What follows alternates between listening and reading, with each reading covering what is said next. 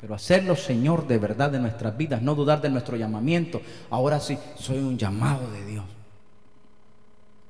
Y esto se lo digo a los pastores que me están escuchando por la radio.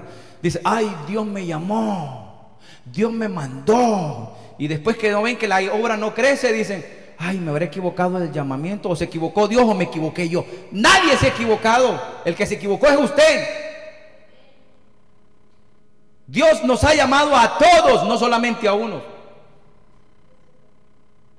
¿Cómo dice la palabra? Muchos son los llamados y pocos los escogidos. Y yo diría, pocos son los que escogen el llamado de Dios. La llamada ha sido para todos. Ah, no, es que el hermano habla bonito y, solamente él puede predicar.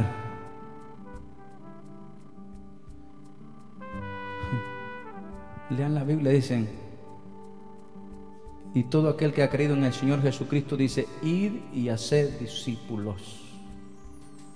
Esa es la gran comisión.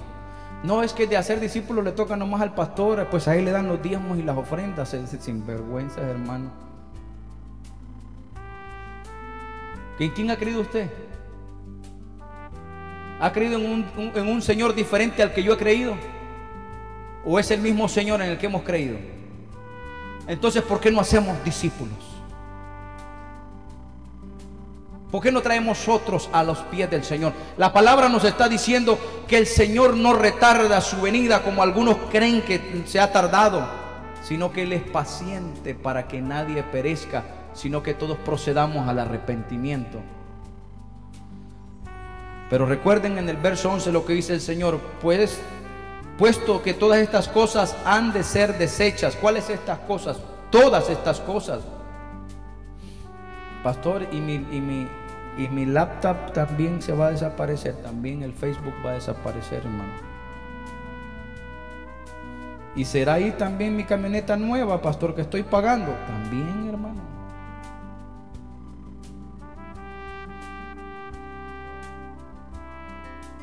Y la casa que me está costando 150 mil dólares, pastor, también, hermano, se va en cuenta. Y el negocio por el que tanto trabajo, pastora también se va a ir.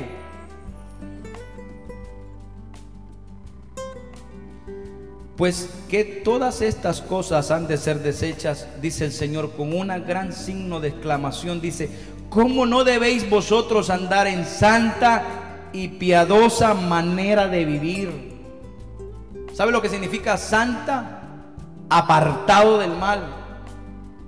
Apartado del mal significa que vas a reservar tu cuerpo, tu alma, tu espíritu, tus oídos, tu lengua, tus uñas, tus pies, de no tocar el mal, de no buscar el mal. Cuando usted está viajando en el internet, busque la palabra de Dios, no esté buscando chismear, no esté buscando pornografía, busque algo diferente. Cuando usted abra sus oídos, ábralos a cosas buenas. Si alguien te viene a hablar cosas chismes de otros. Y sabes qué, mi hermano, yo no soy basurero, yo no voy a abrir mi mente ni mi corazón para escuchar tonterías. Estamos aquí.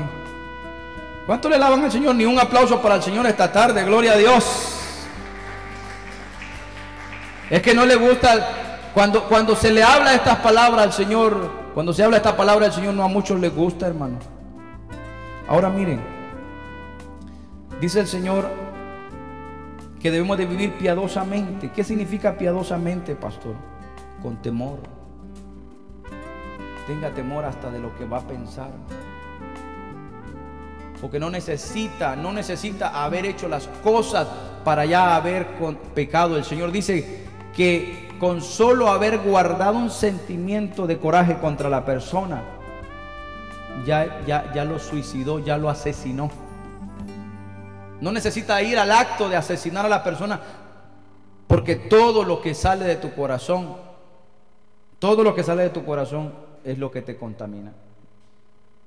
Cuide su corazón, cuide de lo que usted va a pensar, cuide de lo que va a hacer. ¿Cuántos dicen gloria a Dios?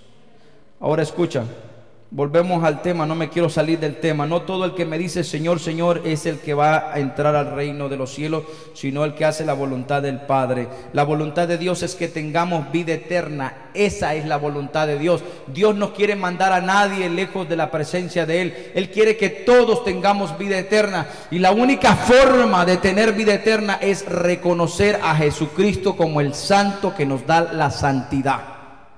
Reconocer a Él como nuestro Señor de nuestra vida. Señor de nuestra vida, Señor de nuestros hijos, Señor de nuestra casa, Señor de nuestros carros, Señor de todo. Señor de sus finanzas. Señor de esta iglesia.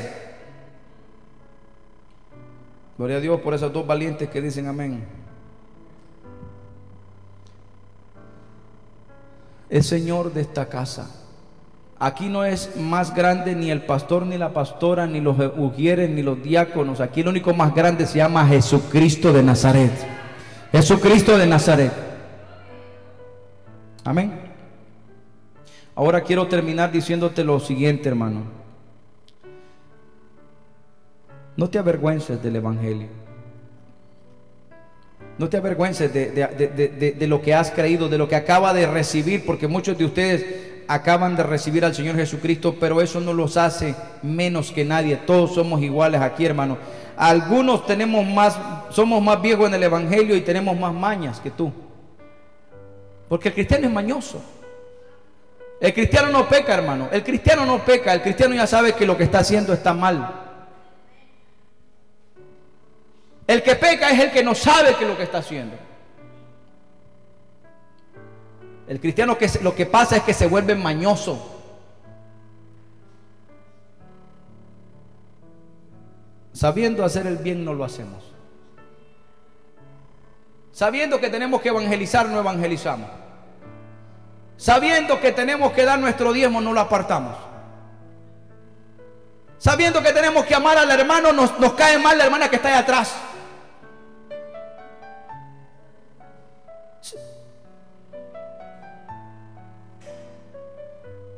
Y, todavía decimos, eh, alabaré, alabaré. Sabiendo que el Señor dice que nos sujetemos a nuestros esposos, no nos gusta, mano.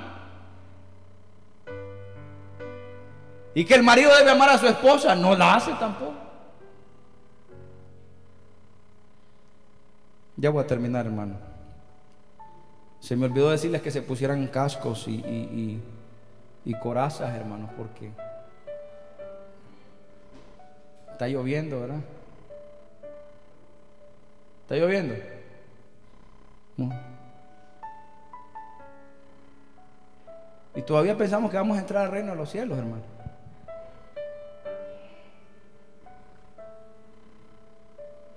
Decía un hermano que ya por su misma boca terminó donde quería terminar Dijo, hasta que el Señor me lleve, dijo, a lo profundo no voy a arrepentirme. Pero antes de que andaba bien entrado, así tenía eso de que antes de que según el Señor lo había tocado, lo había transformado, antes de que cayera de la fe, de la gracia, decía, arrepiéntense, pecadores.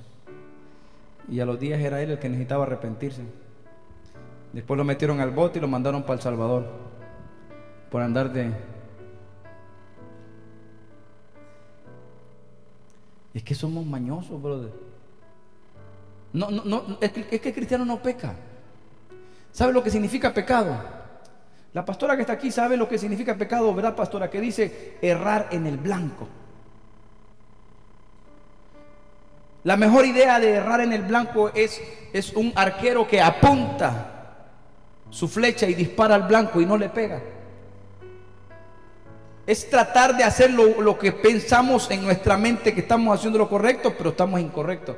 Eso lo hacíamos cuando andábamos en la religión tradicional. Pensábamos que cargando esos bultos en nuestro lomo, creíamos que estábamos haciendo lo correcto y queríamos acercarnos a Dios, pero estábamos bien lejos, hermano.